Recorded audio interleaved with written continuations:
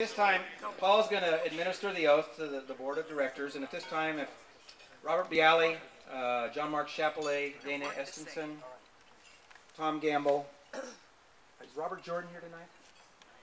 You didn't make it. Jim Lincoln, Steve Matthiasson, Dan McQueenie, uh, myself, Eric Pooler, Manny Rios, Ron Today, and Al Wagner. You'd all come up here, and then I'll give the mic to Mr. Wenger.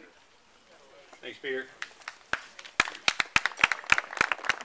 You know, while everybody's coming up, I just might comment, this is uh, the only county that actually has an oath of office, and so I think it really shows, it shows the sincerity, because what you have, the challenges that you have had here in Napa County is probably unlike any other county, maybe Sonoma's had a little bit of it, uh, Mendocino, some of those others, where you see the high-value crops that you have here, and you can get overrun because of all the people that want to move in here and see a place to put their um, great big uh, estate home and uh, forget about what drew him here, drew him here when that was agriculture.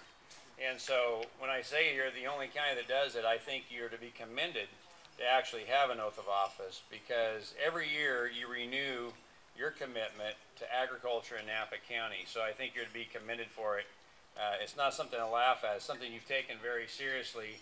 And so uh, to the board of directors and to Peter and your officers and Sandy, I commend you for doing it.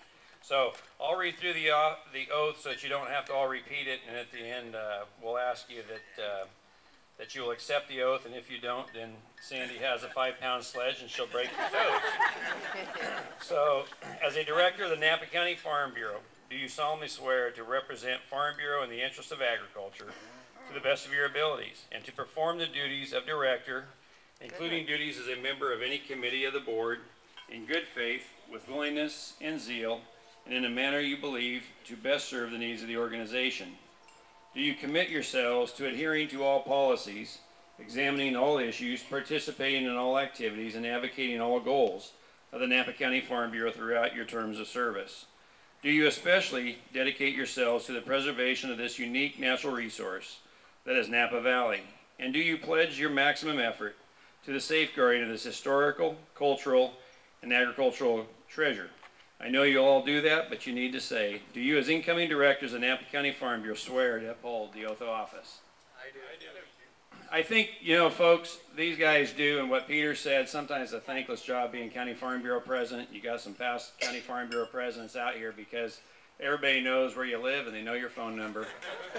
and they don't bother calling or stopping by because they think that you can help them with their problems, and that was Farm Bureau's all about because uh, being a federation, the counties can pull together with the state and the AFBF to try to solve the problems that confront us. But it all starts right here at Grassroots Organization. These folks and some of the board of directors that couldn't be here tonight, they do an awful lot, and sometimes the only thanks they get is a pat on the back. So why don't you give them a round of applause for everything they do.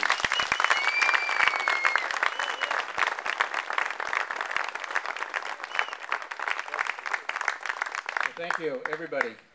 Thank you, gentlemen.